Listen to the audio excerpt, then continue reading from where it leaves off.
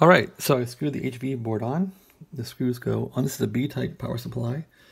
The later one, so the AC4. So one screw goes here, one screw goes here, and one goes here. Those holes were present, so. Oh, okay, this is the low power board. So yeah, that's it for the low power board. So now, time to look at the high power board, or the the uh, 650 volt power supply board. So that one goes here, and I wonder if anything on this thing lines up or not. I doubt it, but there is one hole here and one there. Let's see if those will line up or not. So this always, the capacitors always go back toward the frame. Yeah, that might line up. Yep, yep, I think it needs to line up. Let's take a look. And just drill one, and that's gonna be it. So, in it goes.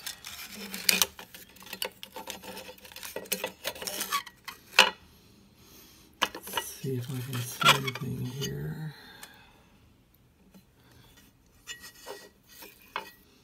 I'm looking for a hole there to see if I can see a hole on the bottom. There's our light.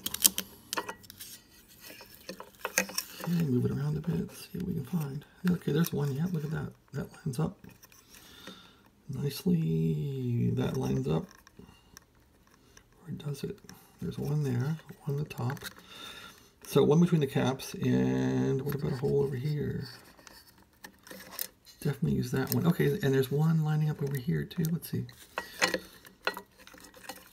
It's the lineup game. So I did find that. Okay, there it is. There's that one there. How about over here? The middle is lined up.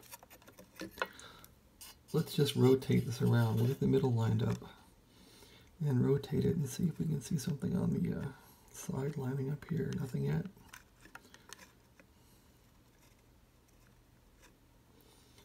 Okay, well I don't see any hole here.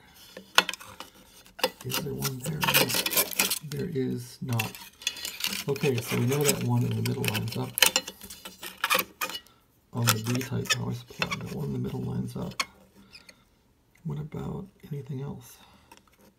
There's one. Okay, so we got two that line up. So that's where you want to start, is get these two in. Get the top one in, as you can see The top hole in and get the uh, the side went in and drill the rest. So looks like how to do it. Is the board cockeyed or is it in there good? There's that one. The top. Well, I'll put this in and report back. So that's how we get the HV board in. There are two holes. There's one here and one here. The rest, I guess, you're on your own. Okay, thanks.